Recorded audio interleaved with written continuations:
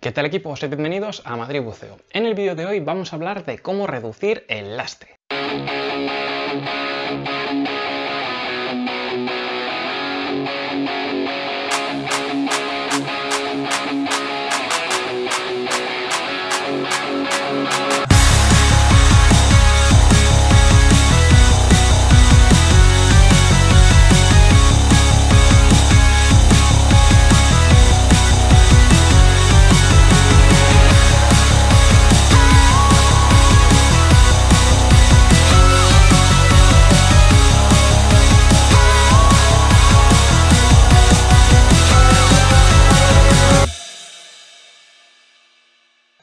Este es el segundo vídeo de la lista de reproducción de cómo reducir el consumo. Así que si quieres conocerlo de forma completa, te recomiendo que te vayas al vídeo anterior para que veas un poco de qué estábamos tratando. Entonces, ¿qué cosas podemos hacer para reducir el lastre? O mejor, antes de eso, ¿por qué es importante reducir el lastre? Si llevamos lastre en exceso, lo que va a suceder es que vamos a tener que hinchar más el jacket para mantenernos en flotabilidad neutra. De modo que ese aire que está yendo al jacket, al al dispositivo de flotabilidad, no lo vamos a llevar en nuestros pulmones o no lo vamos a poder emplear para respirar. ¿Qué otro problema tiene? Que, puesto que vamos más cargados, haremos un mayor esfuerzo a la hora de aletear, a la hora de desplazarnos. ¿Esto en qué se traduce? En que tragamos más aire. Entonces, ¿qué cositas podríamos hacer para eh, reducir el lastre? Una de las opciones que tendríamos sería cambiar el jacket por un ala. Eh, las alas son más reducidas y tienen un menor volumen. ¿Qué sucede con esto? Pues que si tenemos un menor volumen, haremos menor resistencia a la hora de hundirnos. Esto es muy importante porque no requeriríamos de tanto plomo, de tanto plomo para hundirnos. Otra opción, también muy inteligente, si queréis quitaros lastre, es dentro de las placas de las alas, utilizar un ala de acero. Las alas de acero ya de por sí pesan unos 2 kilos y además algo que también es muy interesante utilizar placas de acero es que nos va a repartir el peso a lo largo de la espalda. No vamos a estar llevándolo todo en la cintura, que este es otro error bastante común, el llevar todo el plomo en la cintura. De esto ya hemos tratado, de dónde llevar los plomos, de cómo llevarlos y demás. Y por aquí arriba os dejo un vídeo explicándolo y tratando de entrar un poquito más en profundidad. Otra cosa también muy importante es saber si llevamos el lastre correcto. Hay mucha gente que en el Open le ponen una cantidad de plomo y sigue buceando con esa cantidad de plomo a lo largo de su vida. Esto no tiene por qué ser correcto.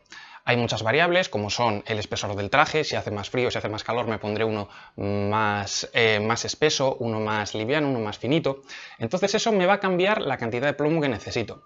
Del mismo modo, si me voy a un mar muy salado, como puede ser el mar rojo y buceo con aluminio, necesitaré mucho más plomo de lo que emplearía para bucear, a lo mejor en el Mediterráneo, con una botella de acero. Todo esto tenemos que tenerlo en cuenta. Entonces, ¿cómo lo tenemos en cuenta? Muy sencillo, chequeo de flotabilidad. Es una cosa que yo no veo hacer mucho a los buceadores y que es primordial. ¿Cómo hacemos un chequeo de flotabilidad? Pues por aquí arriba os dejo un vídeo explicándolo. Y otra cosa también muy importante después de haber hecho este chequeo de flotabilidad es en la misma inmersión hacer un segundo chequeo en la parada de seguridad. ¿Cómo hacemos?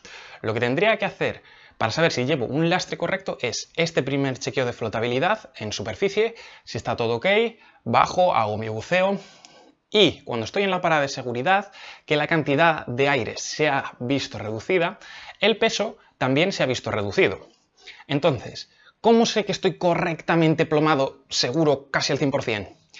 Si he hecho este primer control de flotabilidad, me ha dado ok, y si además soy capaz de mantenerme en la parada de seguridad 3 eh, metros a 2 metros más o menos, sin eh, necesidad de estarme peleando con el equipo, sin necesidad de estar aleteando hacia abajo, sin necesidad de estar picando, ese es vuestro lastre correcto.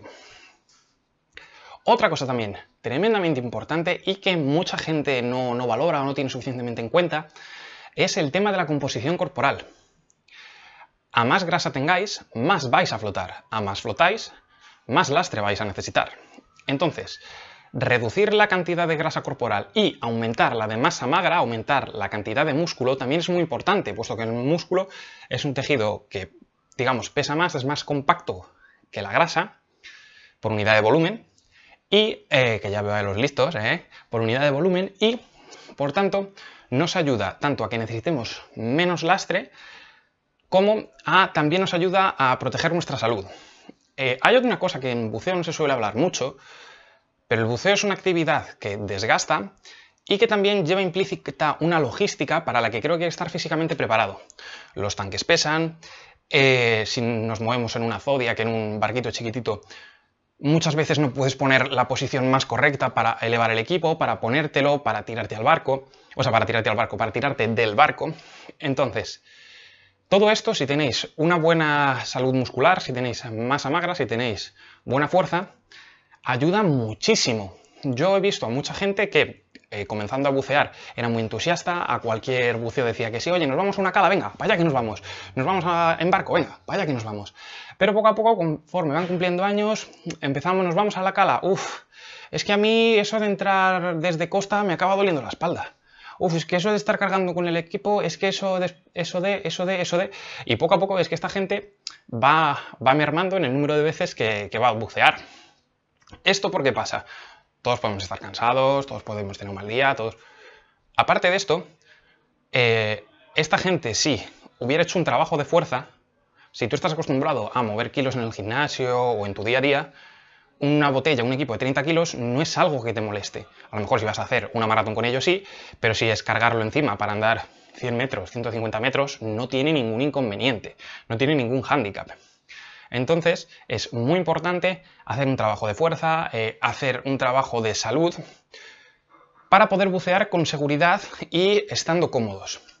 El buceo es una cosa muy importante, no es un deporte, es una actividad que requiere estar en forma, pero no por practicarla vais a mejorar vuestra condición física. De hecho, el buceo, como decía un instructor mío, es un antideporte. Cuanto más lento, cuanto más tranquilo, mejor. Pero ¿qué pasa? Hay una parte previa en la que tenemos que cargar equipos o incluso también os digo, el buceo eh, siempre se hace con compañeros y si hay un compañero que tiene un problema y nosotros no tenemos la capacidad suficiente para eh, a lo mejor aletear con él arrastrándole o para eh, ayudarle a subir al barco o para cualquier otra cosa, ese problema se puede agravar. Entonces, ya no solo por nuestra salud, por nuestra seguridad, sino también por la seguridad del compañero, es muy importante hacer deporte y estar en forma para el buceo. Pues nada, con esto hemos acabado, espero que os haya gustado y nos vemos en la próxima. Hasta otra.